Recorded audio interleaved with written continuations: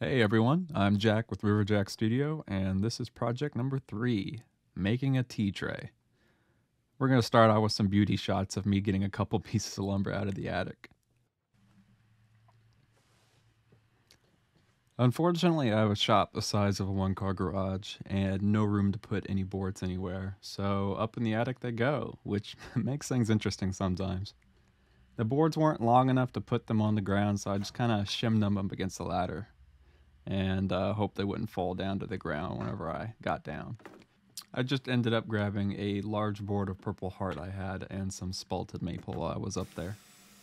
I took the maple over to my table saw and cut several quarter inch pieces that would be used for the bottom part of the tray. I absolutely destroyed my push stick when I was trying to push all these through because I didn't realize it was larger than a quarter inch. So I decided just to get some plywood and cut a V into it. That's what I kind of used to push everything through, which surprisingly worked really well. Um, I ended up using that entire piece of maple for the tray and I ended up sorting through all the pieces and just selected three sets of book match ones that looked really good to use for the bottom. I then went ahead and grabbed that piece of Purple Heart and using a jigsaw I cut off about a 15 inch piece so I could use it for both the bottom of the tray and later the sides. The blades for my jigsaw took absolutely forever to get through. They were rough cut ones from Festool and they were plenty long enough to get through the piece, but uh, that clip was sped up by about 600%, so I don't know if I got some defects from the factory or what, but I gotta look around for some better jigsaw blades. I then took the pieces over to my table saw, cut them for the bottom of the tray. Um, one side had a lot of curl to the grain, so I decided to end up cutting that piece in half and using it in my tray. I set up my clamps and took my spalted pieces over and oriented them to where they were book matched and separated those three sets by strips of Purple Heart. Since this piece was only uh, a 16th over a quarter inch, I made sure to use cauls and clamp everything really well. Um, I didn't want there to be any deviation between the pieces, as I had really little wiggle room to work with. So the Purple Heart I had bought from a lumber yard in Baghdad, Kentucky, which is just a little bit east of Louisville. Purple Heart is not native to here, but it is to Mexico and farther south to Central and South America. The spalted maple, however, is from a horse pasture in Kentucky that was a sugar maple tree that had fallen down in a friend's horse field, and the horses had actually eaten all the leaves off the tree by the time I got to it. And we cut it up out of the field, and I had kept a couple pieces for myself. And since it had sat there for about six months, it had uh, started to spalt a little bit. Those black streaks that you can see in the wood come from a fungus that decomposes the organic material in the wood and replaces it with mineral deposits that give it that deep dark coloration. And that's actually what the spalting is. So for my glue up, uh, I used Titebond 3 as it's waterproof and it being a tea tray or a serving tray, it had potential to get uh, moisture on the top. So I decided that was the best call. I then let the glue sit for 24 hours and came back and undid all my clamps.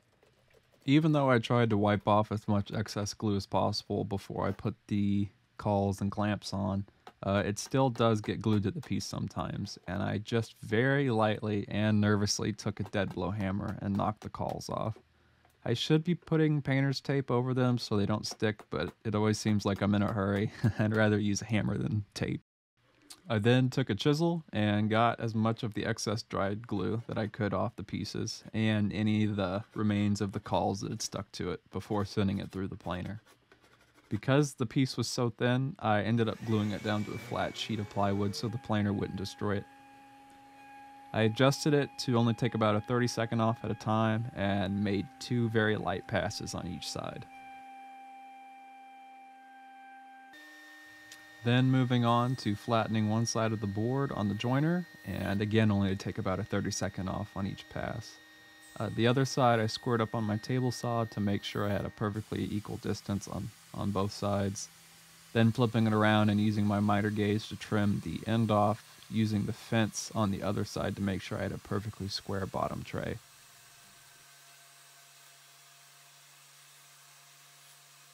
Due to the maple spalting, that does mean it started to break down, and that often leads to soft spots.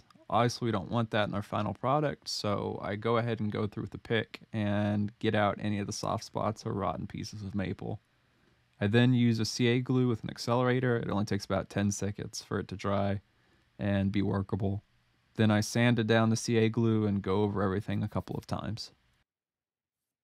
I really like using CA glue. It's really useful to fill voids in any piece and fix ex-girlfriend's cabinets when they lean on them a little too hard. But uh, I always manage to get some on my hands. And then using the accelerator, I have super glued fingers the rest of the day. So that's not a fun part to it, but I go ahead and pre-sand everything as it'll be less work later on if I go ahead and do everything now before it's glued up. I spray down the board in between grits to raise the grain. This helps to both eliminate ridges and it also helps when coming into contact with water so it won't raise it later on then either. I go up to 180 on everything starting at 60 grit and then when the board is actually glued up and together I'll go from 180 up all the way to 320.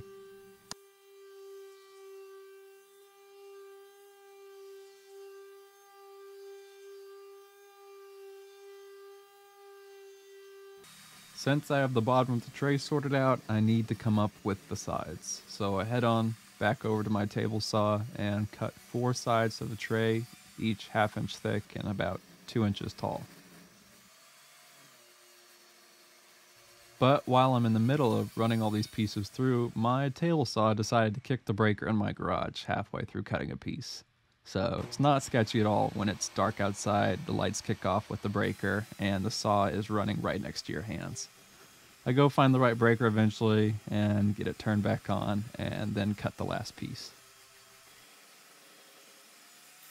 Because the tray needs a place to be mounted, I decided to go ahead and dado the Purple Heart sides to support the bottom.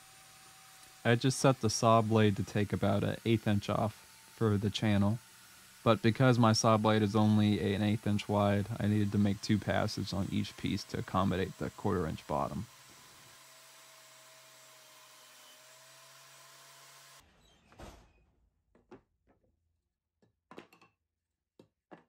I then head over to my miter saw and miter the edges at 45 degrees so that when they butt together they make a perfect 90 degree joint. This also gets rid of that dado by mitering these edges. I then pre-sand these pieces just like I did with the bottom to make finisher easy on, repeating the exact same steps, spraying in between and then going up to 180. I then dry fit the pieces to make sure everything is nice and snug and gluing up the corners only and set up clamps to make sure I had perfectly square fit up.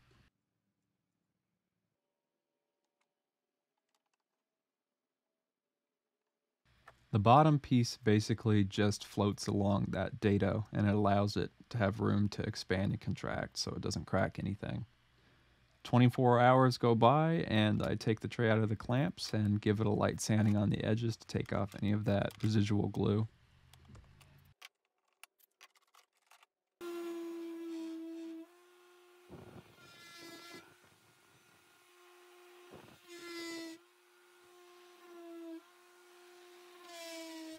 I need to go ahead and strengthen the corners as the glued face of the mitered edges really isn't that strong and is liable to break or shift over time. So I decide to add splines to my mitered edges. I make two lines on each corner face where I want them to go, and then I scribe a line on the corner using a tri-square to set my depth of the spline. I then head over to my table saw again and set the height of my blade using the tried and true method of just eyeballing it. I just need to make sure that the edge of the blade makes contact with both the top of my line and the bottom of it to give it a straight even cut. I then go ahead and add a stop block to make sure I don't cut through the corners and I send it home cutting two splines into each corner all around the piece.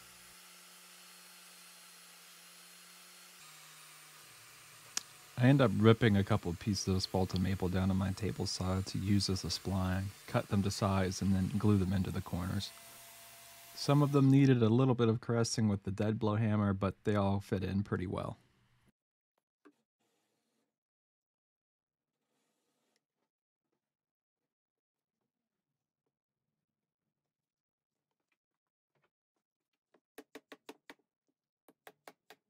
I then needed something to grab onto my tea tray with.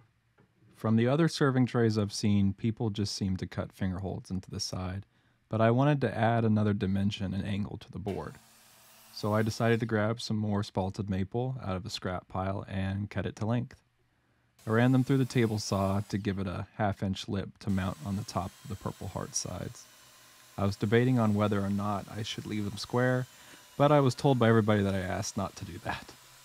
So I instead cut an angle on the grip handle, and I again used my tried and true method of just eyeballing it because that's pretty much all I ever just do.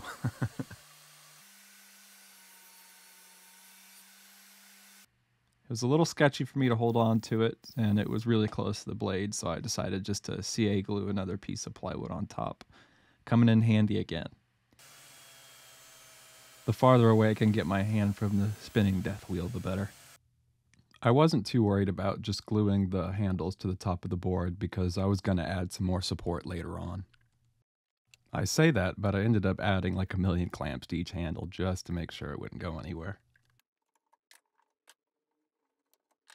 The next day I removed all the clamps and cut off the excess splines with a multi-tool.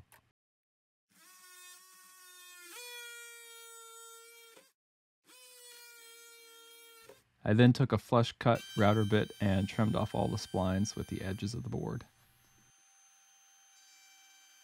One thing that I was really nervous about during this whole process was the coloration of the Purple Heart. Whenever it's first cut on my table saw or I sand it at any amount, um, it removes that oxidized layer and turns a dark brown color. I knew the coloration would come back, but I never liked seeing it turn completely brown and change colors like that. I wasn't thrilled with how simple the handles turned out, so I wanted to add a little something else to them. Since the splines were incorporated into the side pieces, I thought I would go ahead and add Purple Heart dowels to the handles. Functional and aesthetic, best of both worlds. I measured out the position of three dowels on each side at a quarter inch from the middle, since that wall thickness is about a half inch. I then took the board over to my drill press to make sure the holes were perfectly centered, and used a quarter inch Forstner bit. I drilled out all six holes, setting a stop distance of about three quarters of an inch. Then grabbed a scrap piece of Purple Heart and headed over the table saw to cut it slightly over a quarter inch. I then set it in my vise and rounded over the edges with my sander, putting the piece in my drill and using the doweling jig with a chisel to make a smooth quarter inch purple heart dowel. Got a little smoky at the end there though. I then added glue to the dowels and the holes themselves and hammered them in, just cutting off the excess at the top and letting it sit and dry for another day.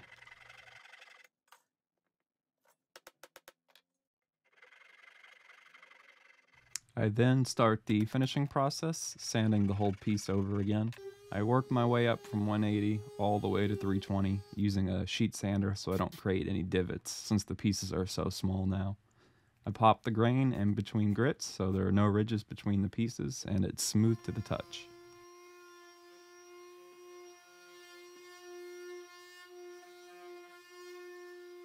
I then use mineral spirits to remove any sawdust trapped in between the grain and show any areas I might have missed while sanding.